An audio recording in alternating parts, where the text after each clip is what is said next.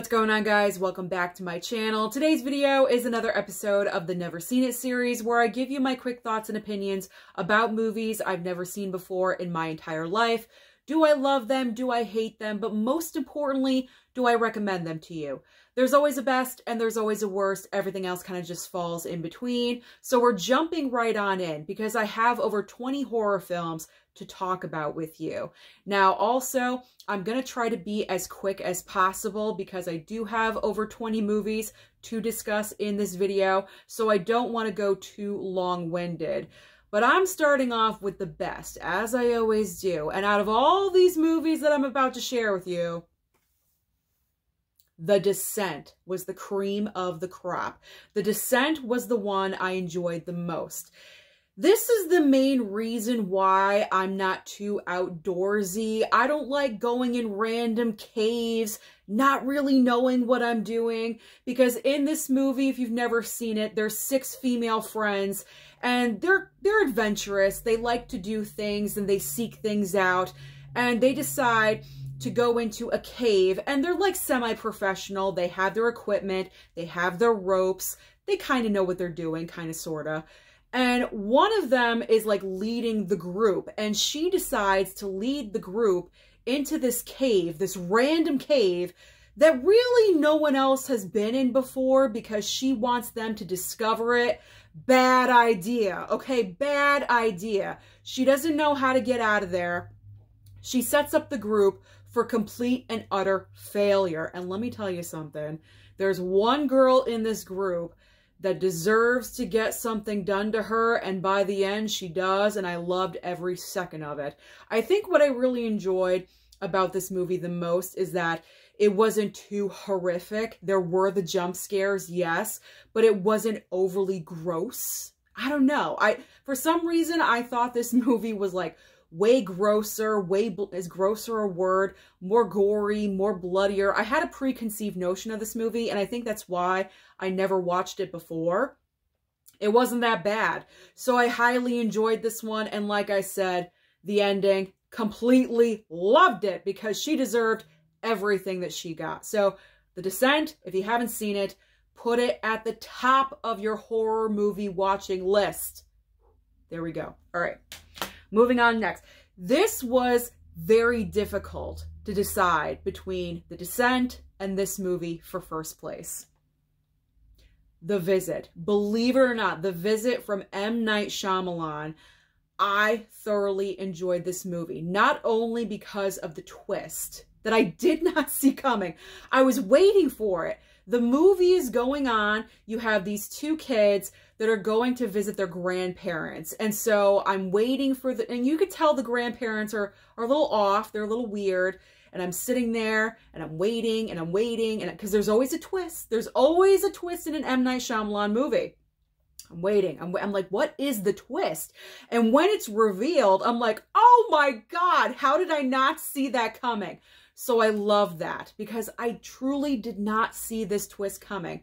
But besides the twist, the humor, the dialogue between the siblings in this movie, in particular, the little brother, I was laughing hysterically because just the way his part was written, the way the little kid was delivering the lines, I was laughing my butt off. So this was a great movie. It balances horror and comedy really well. Even though it's not a horror comedy, you're laughing in this movie because the way the dialogue is written and the way the actor delivers delivers the role. So this was a great watch as well. Highly enjoyed it. Kind of restored my faith in M. Night Shyamalan because he's had some clunkers, you know what I'm saying? So I'm looking forward to watching other movies of his that I have not seen because I enjoyed The Visit so much. So there you go.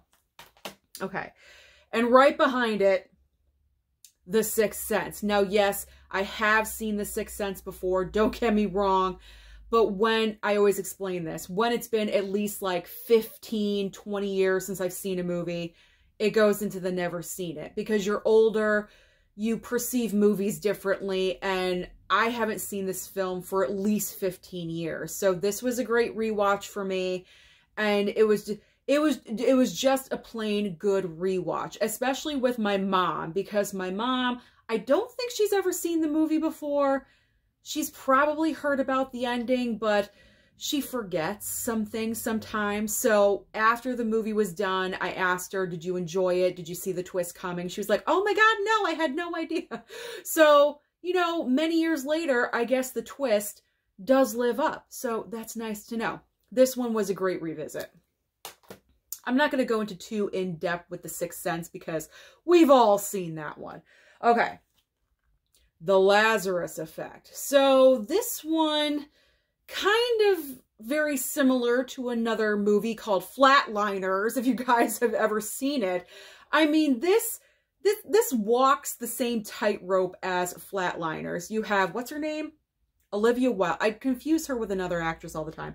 Olivia Wilde, Mark Duplass. They're like the head scientists of this little group, and they discover how to bring people back from the dead like with flatliners, except they're not using each other. Olivia Wilde accidentally passes away during one of their experiments that they were doing, and so they decide to rush their decision to bring her back.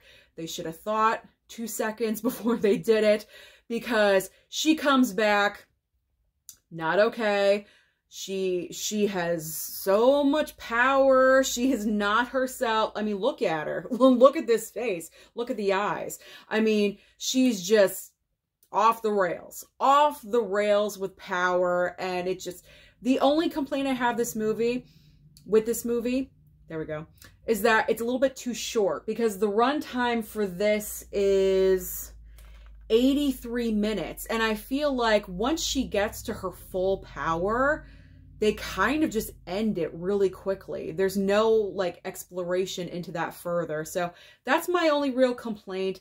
This isn't a movie I'm going to grab all the time, but I highly enjoyed watching it for the first time. But like I said, it's just very familiar to another classic film, which is Flatliner. So, I mean, if I want to watch a movie that's like this, I'll choose Flatliners over this one, but I enjoyed watching it.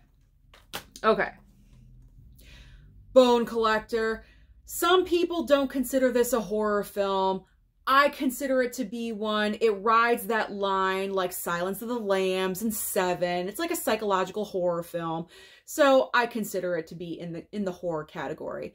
Other people do not, but I do. This was a great revisit. Again, haven't seen it for a really, really long time. Angelina Jolie's in this movie, beginning of her career. Denzel's amazing in this. We're following a serial killer that is kidnapping people and he's killing them in a certain way. And it's all, I just love stories like this, how it just unravels and reveals itself and clues are discovered. It's such a great movie. So I highly recommend it. Had a great time watching it and I thought it lived up. I really, really do. I, I mean, it, it didn't seem like it was an older film. It just, it seemed like it could have been made today. So I loved rewatching The Bone Collector. The next movie I'm going to talk about is another psychological thriller slash horror film, and it is called Shut In, starring Naomi Watts. Now, in this movie, when it first starts, we get her personal backstory with her husband and her son. Something tragic happens to kick off the movie. Then we get into present day. She's a child psychologist. She's she's interested in helping one client in particular. Unfortunately, he ends up going missing, and for some reason, she thinks that she sees him in her home. Her home is very isolated. It's dead of winter. That's the setting in this movie. Very much like The Shining, like Shining vibes, like that kind of winter time where a massive snowstorm is coming in. Her home is isolated off the main road, and she feels like this child is in her house or his ghost or something. you're trying to put the pieces together. And then the twist is revealed and it's borderline sick. And I don't think I've ever mentioned that or said that about any other movie where the twist is just sick, like borderline sick. At least I thought that it I thought that it was. If you've seen this movie, feel free to send me a message or on like Twitter or Instagram or something like that at Movies and Sue and let me know your thoughts because I personally thought it was borderline inappropriate, but you know what? We all have different opinions. It's not a movie I would like regularly go regularly go for. There we go. But if there was like a massive snowstorm outside, I would go for this movie because the setting of that of this film would match what was going on outside. If you know what I mean. You know what I mean? Massive snowstorm, a cup of hot cocoa, and shut in. It could be a good time. Who knows? So I don't really know if I can rec I I mean I would recommend it. It's not like super sick or it's just weird. It's weird. All right. Speaking of weird, the Critters collection. All four movies. I watched all four Blu-rays in this box set of Critters. This is just cheesy fun. I'm not going in depth into this. The Critters films, they're they're just stupid. They're stupid, cheesy, good fun. I mean, you have the first movie that sets up everything. Then you have the second film that's pretty much the first film set during Easter. And then you have the third film starring Leonardo DiCaprio. There you go. An Oscar winner is in Critters 3, yes. And Critters 4 not only has Angela Bassett, but it's in space. So that's that's it. That's all you got to say. That's all you have to say about the Critters box set. Like I said, this is not so like deep that I'm going to go in depth about the Critters movie. So if you like cheesy Velveeta, all over the nacho plate, good fun, Critters. Critters box set. I picked this up during the Scream Factory sale, and that's when everyone should pick this up because you don't need to pay full price for this. You don't have to watch these, only if you like really, really stupid, dumb, fun movies. All right, let's move on to The Retaliators. Okay, I watched this so long ago, I need to like refresh my brain really quickly, really, really quickly. I feel like this movie was like all over the place. I felt like it it couldn't really find the tone or vibe that it wanted to go with. There's a murder, there's revenge, there's kidnapping, there's blood, it's gore. Like there's so there's so many things happening in this one movie. The way it starts off doesn't really match up with the rest of the tone and the vibe of the entire film.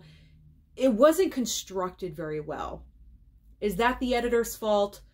Probably. I, I don't know. There was just so many different directions this movie was going in. I mean, it was only like twelve ninety nine, I think.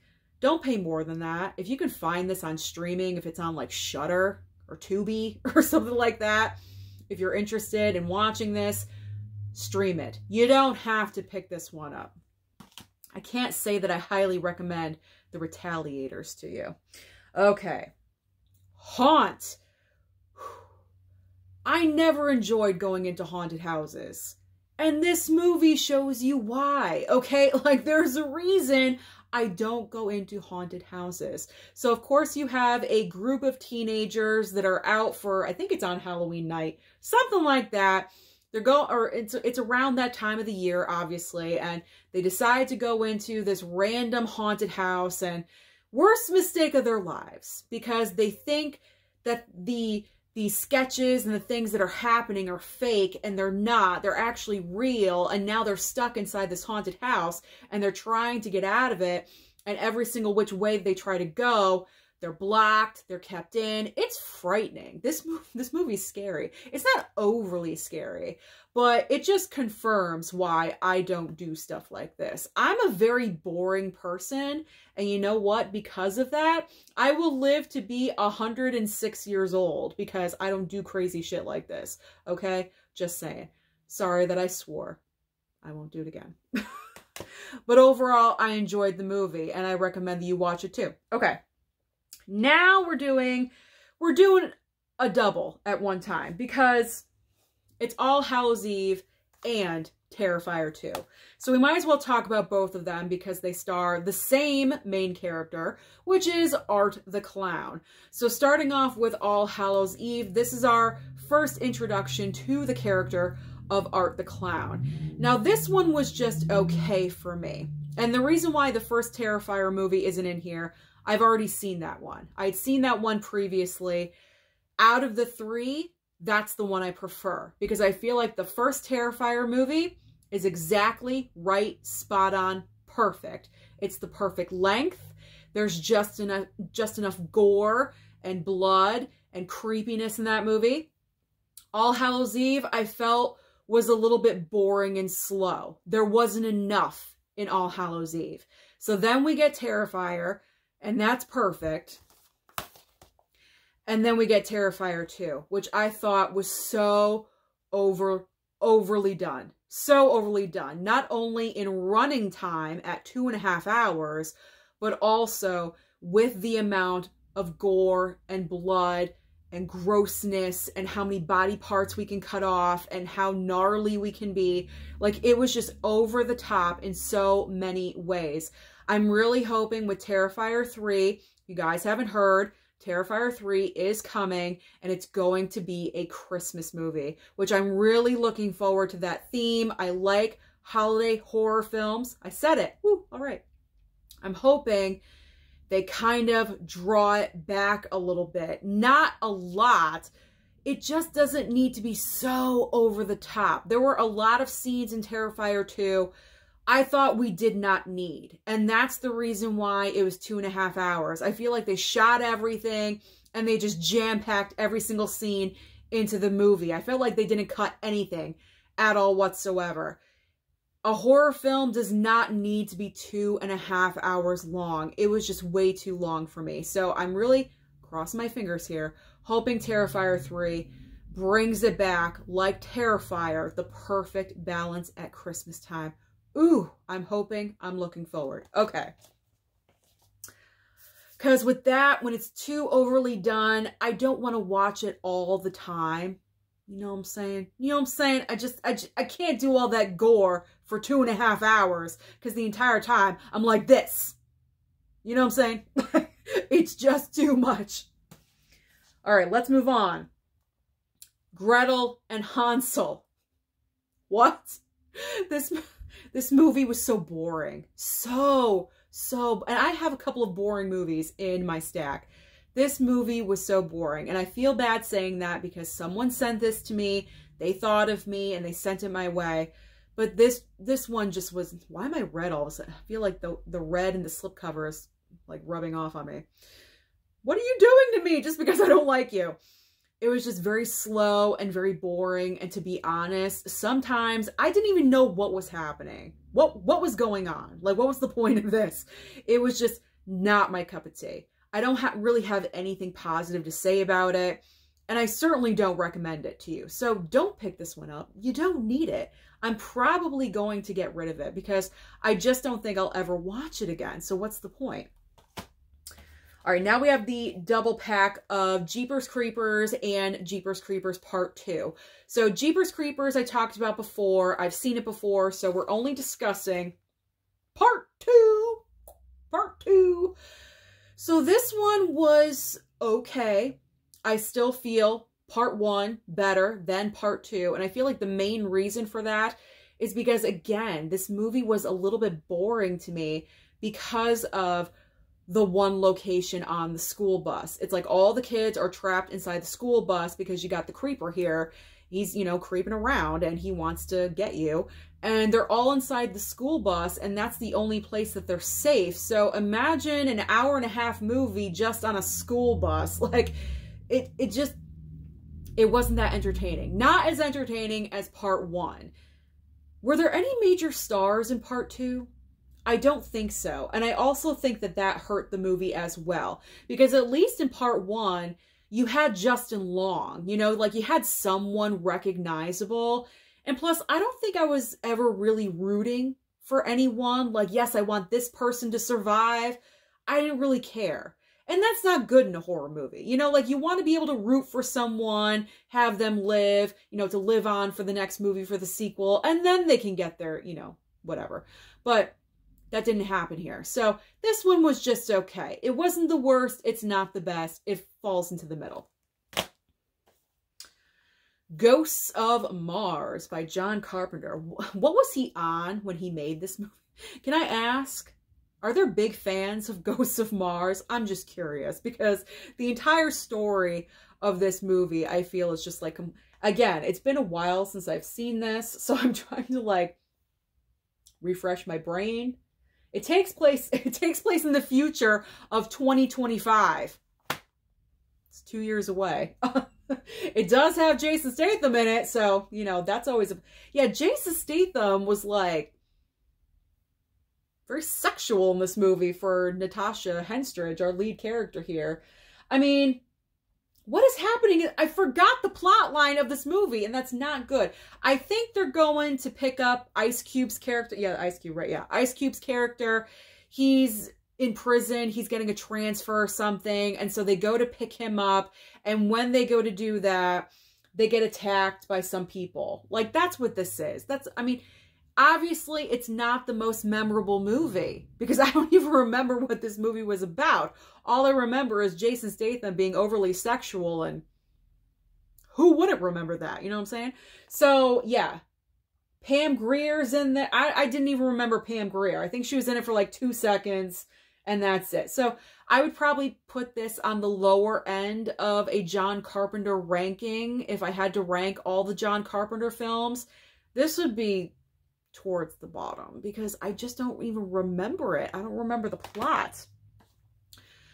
Another time to take a nap. Nosferatu. And I feel bad. I feel bad bad in saying that because this is like the OG of vampire films. Nosferatu. Like, I was excited to pick this up.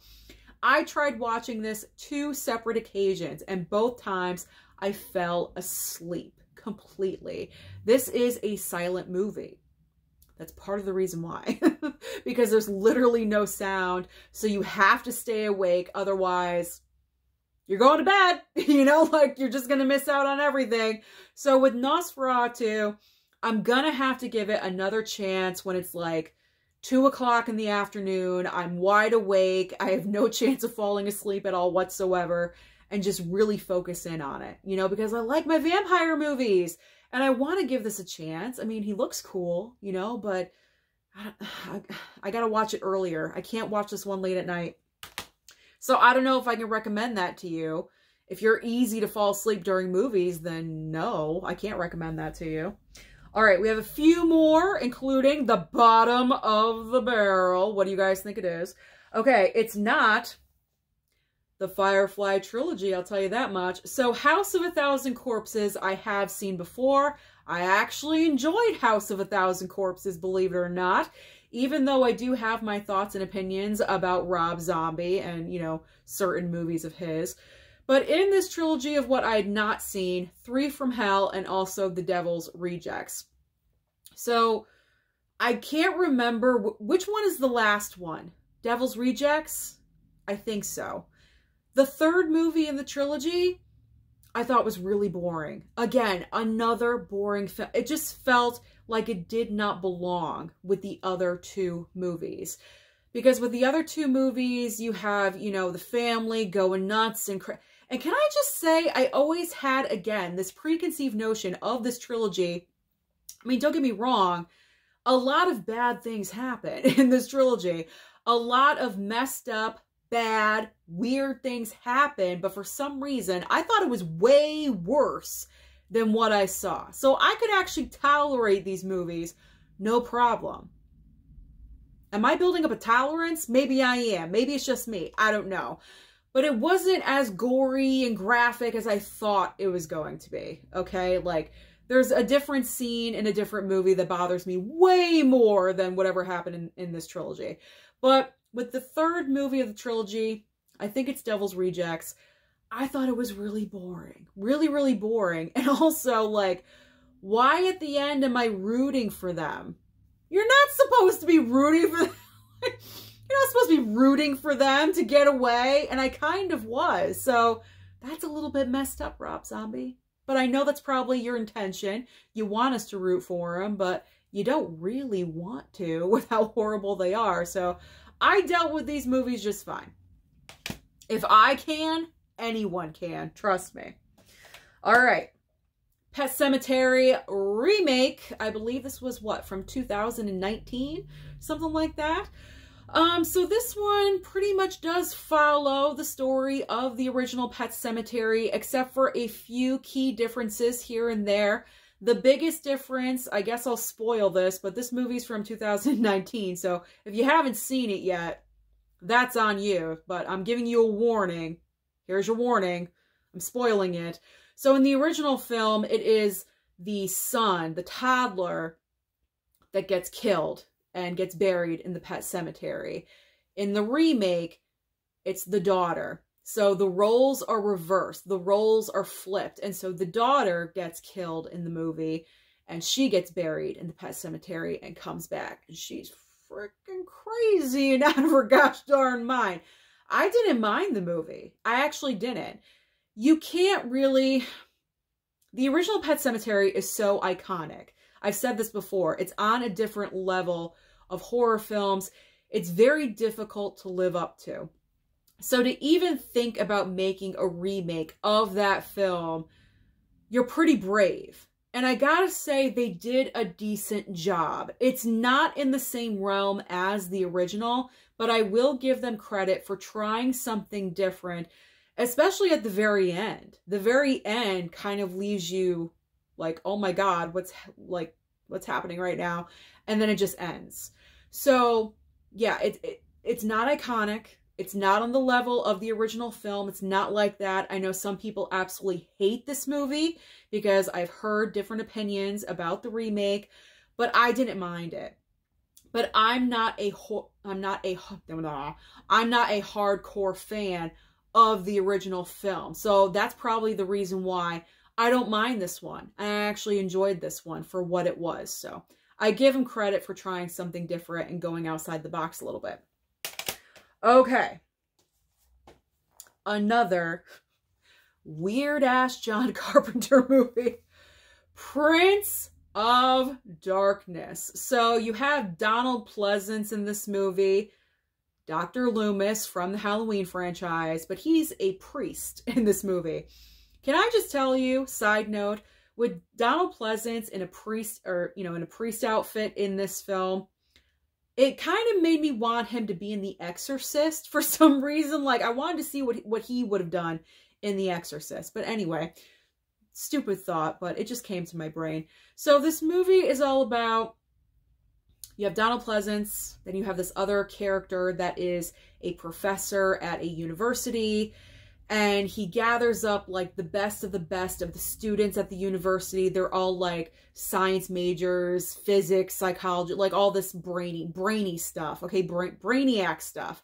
Gets all the best students at the school. Other people get involved as well.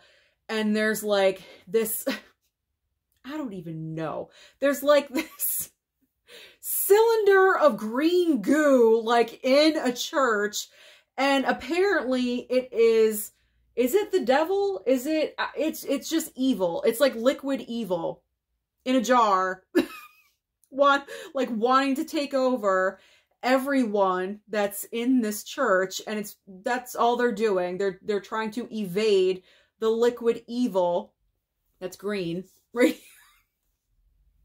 John Carpenter what are you taking? What are you smoking? Because I want to know what it is. I want to know what it is when he comes up with these ideas. Because he wrote this, right? Maybe he didn't write this. I don't know.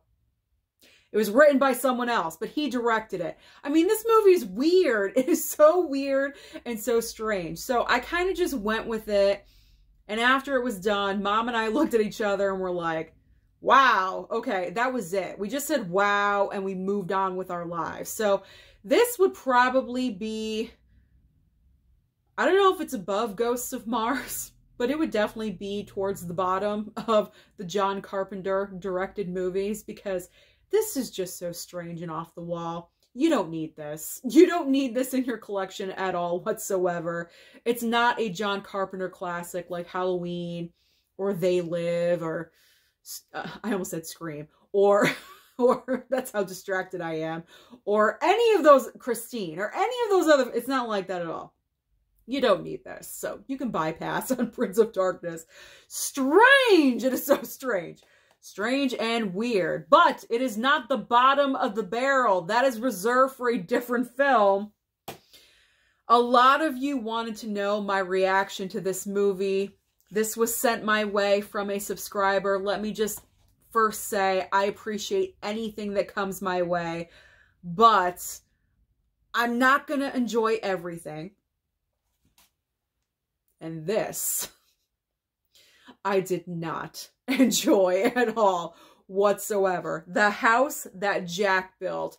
So this is Matt Dillon playing a serial killer and reading the description. I'm like, hey, I'm into this. Matt Dillon going off the rails, being a serial killer. Okay. The runtime of this is almost two, no, it's over two hours. It's almost two and a half hours. It's 151 minutes. That is crazy long, again, for a horror film. They do not need to be this long. Pretty much it's Matt Dillon killing people in five different vignettes of the movie. I believe it's five. And it's just extended so much. I was so bored watching this movie. It was unbelievable. How am I going to be bored watching a serial killer on screen? Like, how does that, how do you make a serial killer boring? Lars von Trier, the director of this, I don't even know who this is. I don't even think I've ever seen anything that Lars von Trier has ever done before, but I did not enjoy this movie at all whatsoever. It was too long. It was too boring. And I'm sorry, Matt Dillon as a serial killer, that should be way more exciting. How do you make that boring? I just don't understand. So I do not recommend this at all whatsoever. Don't waste your time. Don't waste your money. Don't, just don't. Don't pick it up. So you know what's going to happen, right? It gets tossed on the bed not across the room, onto the bed. So that is everything that I have been watching lately. So comment down below and let me know your thoughts about any of these movies that I just discussed. Don't forget to like and subscribe before you leave, and I'll see you next time.